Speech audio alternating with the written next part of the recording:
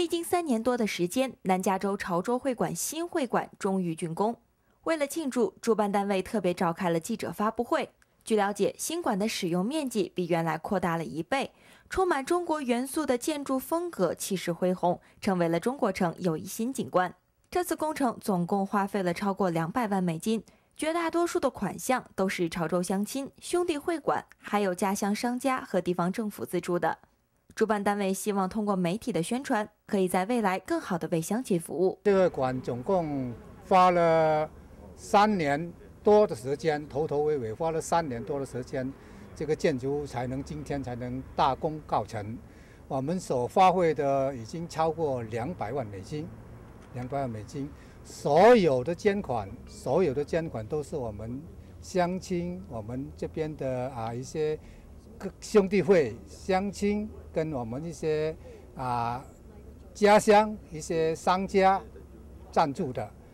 这个金额从这个每位十万块钱到十块钱都有，啊，总共这个捐额的人数已经超过八百人。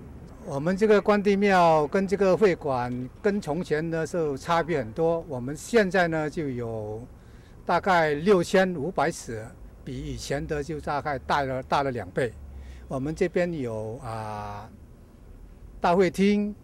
我们这边有关正庙，我们有老人中心，我们下面还可以有两个教课的课室，可以教中文的，啊，我们还还有很多啊一其其他的活动都可以在这边办，到时可能还有潮记班啊什么，通通我们都会在陆续在把它扩大，为我们更大的乡亲来服务。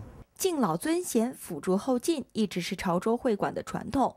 在历届成员们精诚团结的合作下，大家出钱为乡亲谋求福利，积极推动基因互助组、奖学金组、文教组、康乐组、青年组、体育组等各个活动。